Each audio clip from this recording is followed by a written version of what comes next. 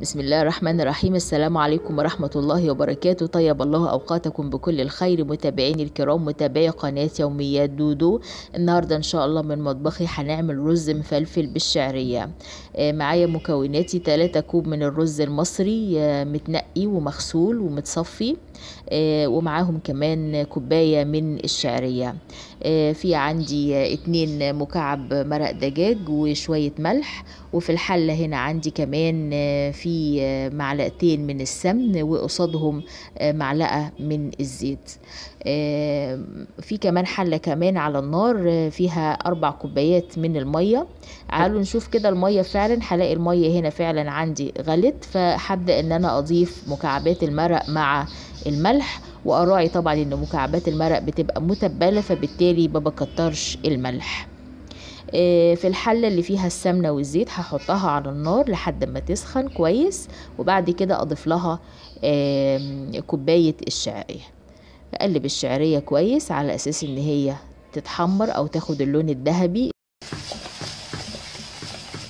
آه، تمام. هنا عندي بعد ما الشعرية اتحمرت ببدأ آه، إن أنا أضيف لها الرز زي ما قلنا آه، متنقي ومغسول ومتصفي كويس من ميته. هبدأ إن أنا أضيف الرز وأقلب كويس مع الشعرية بحيث إن حبيباته تندمج تماما مع آه، السمن ومع كمان الشعرية. آه، أسيبه على ال- البوتاجاز كده على النار بحيث إن الحرارة تبدأ تطلع الرطوبة اللي- الزايدة اللي فيه اللي موجودة في الرز.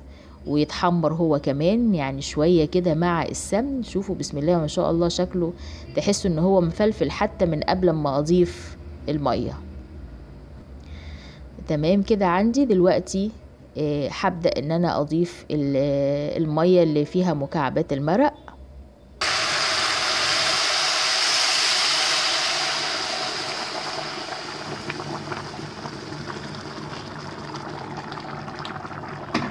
أقلب وأغطي الحلة.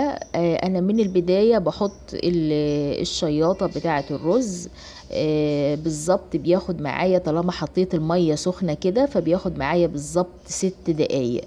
آه، تلات دقايق على نار عالية لحد ما ال- المية تبدأ إن هي تتبخر شوية من الرز. بعد كده آه، التلات دقايق التانية بهدي النار عليها على أساس الرز يستوي على نار هادية ويبقى مفلفل. آه، تمام. أنا كده بعد مرور تلات دقايق شايفين الرز ما شاء الله بدأ إن هو فعلا يتشرب ومفلفل وجميل مش معجن. معيار المية مناسب جدا لمقدار الرز.